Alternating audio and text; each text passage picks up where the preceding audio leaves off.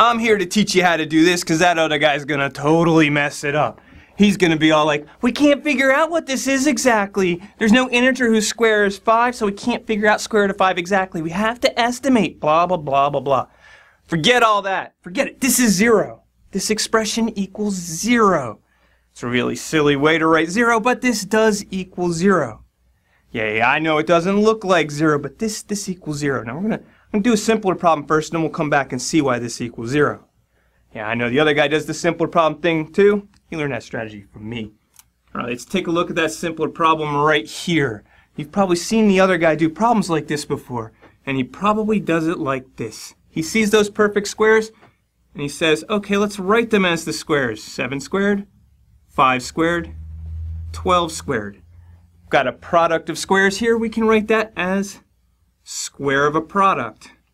7 times 5 times 12, we take that product and we square it. So now we have the square root of a perfect square, and we know how to handle that. That's just 7 times 5 times 12.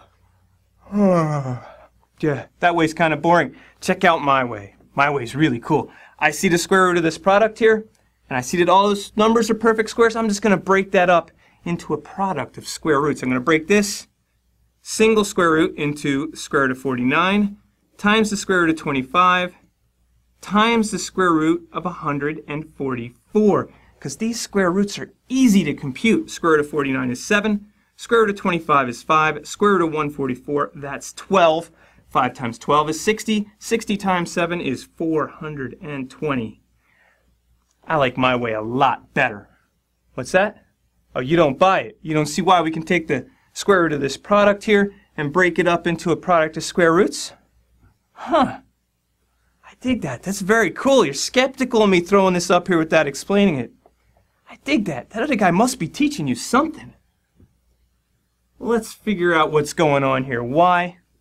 The product of these square roots equals the square root of that product. Now we're going to assume here x and y are non-negative so we can take square roots of them. Let's figure out why this is true. Now, I don't know a whole lot about the product of the square roots here, but I do know how to square it. I can take that product and I'll square it using one of our handy exponent rules. I can take the square of a product and write it as the product of squares. Now, the square of the square root of x, that's just x. And the square of the square root of y, that's just y. Square root of y is the number we square to get y, so when we square that, we get y. So now we see, well, we've got the square of this expression equals xy. Well, if we square this to get xy, that means this must be the square root of xy. You know, 5 squared is 25, so 5 is the square root of 25. This expression squared is xy, so this expression must be the square root of xy. It's the definition of square root. So now we see that the square root of x times the square root of y equals the square root of xy. So I can combine a product of square roots, or I can take the square root of a product and split it up. And now that we know this, let's go back to our original problem. Yeah, yeah, I know. The answer is zero because I told you the answer was zero a little while ago. I'm not so old that I forgot that, but let's figure out why the answer is zero. First, we'll take this. We see these two here, product of square roots. We know how to combine those.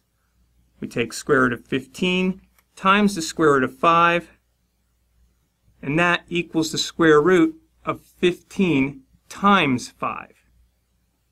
Now, 15 times 5, that's 75 and 75, well, that's 25 times 3. And 25 is a perfect square. So now I can take that 25 times 3 and I can write that